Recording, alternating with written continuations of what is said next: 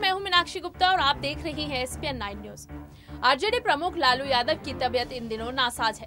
हालाँकि पहले से उनकी सेहत में काफ़ी सुधार है, लेकिन बिल्कुल ठीक नहीं है। ऐसे में चारा घोटाले से जुड़े मामले में सजा काट रहे लालू प्रसाद यादव की रिहाई का मामला फिर से तूल पकड़ने लगा है। पिता और आरजेडी सुप्रीमो लालू प्रसाद यादव की रिहाई के लिए बिहार के पूर्व मंत्री तेज प्रताप यादव द्वारा चलाए गए आज़ादी पत्र मुहिम के तहत बिहार भर से जमा चिट्ठियों को दिल्ली भेजा गया है। जानकारी के मुताबिक शाम को पटना स्थित जीपीओ से तेज प्रताप यादव पूरे बिहार भर से आए आज़ादी पत्र को राष्ट्रपति भवन के लिए पोस्ट करेंगे। बता दें कि बिहार के पूर्व मुख्यमंत्री लालू प्रसाद यादव चारा घोटाले से जुड़े मामले में सजा काट रहे हैं। उनकी तबियत बिगड़ने के बाद बेहतर इलाज के लिए उन्हें रांची के रिम्स से दिल्ली स्थित एम्स शिफ्ट किया गया था। हालाँकि दिल्ली जाने के बाद लालू प्रसाद यादव की तबियत पहले से बेहतर है। उनके स्वास्थ्य की निगरानी के लिए परिवार के लोग तो है ही, साथ ही डॉक्टरों की टीम भी लगातार काम कर रही है।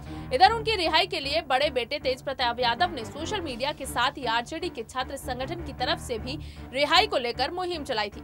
इसके तहत सभी विश्वविद्यालयों के छात्रों को भी लालू प्रसाद यादव की रिहाई के लिए चलाई गई मुहिम से जोड़ा गया था। ऐसे में देखना होगा कि लालू की रिहाई में तेज प्रताप के इस पत्र पर राष्ट्रपति की तरफ़ से क्या जवाब आता है।